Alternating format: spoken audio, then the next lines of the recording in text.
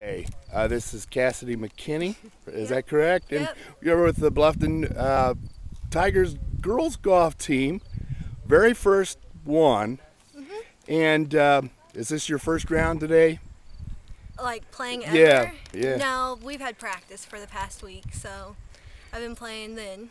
Yeah. But this is the first one you go out against Oh. uh, Eastbrook as an actual meet. Yep. Was it what you expected it to be like, or just what did you know about it? Um, it was pretty much what I expected it to be like. You know, pretty much the same as practice. That's how I felt like. Yeah. And uh, the uh, your partner, um, what um, I'm thinking, was this her first, or was she, has she more experience? she's experienced. I think she's been playing since she was younger. So it was good to play with an experienced player to get the feeling and stuff of how a real match actually goes. Yeah. Yeah. So what is it? Uh, what's the feeling to be the very first uh, um, team or a player for the first team in Bluffton history? Uh, I think it's pretty awesome because, you know, we've never had this before. So I think younger girls will come up and see how cool it is.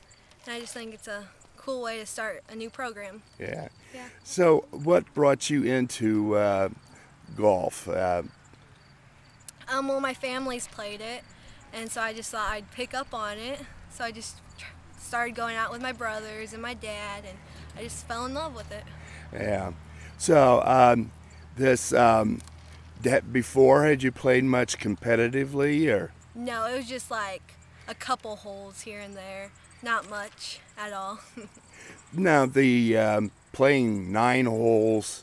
Uh, you've practiced, like you said, but um, is the um, walking the course for nine holes and um, uh, more uh, draining, more physical than you thought it would be like?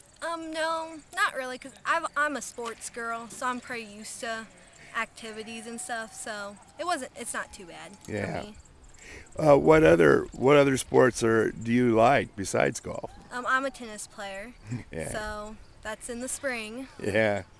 So, um, your other girls that are out here with you, um, you um, you got uh, the number number one spot, Mm-hmm. and um, what do you feel are um, well the things that you're going to have to do for the rest of the team as uh, as the number one player? Um, probably just keep a good, positive, good, positive attitude. Just to tell girls that you know it's all right to miss a couple shots. You have a next hole, and you can start all over.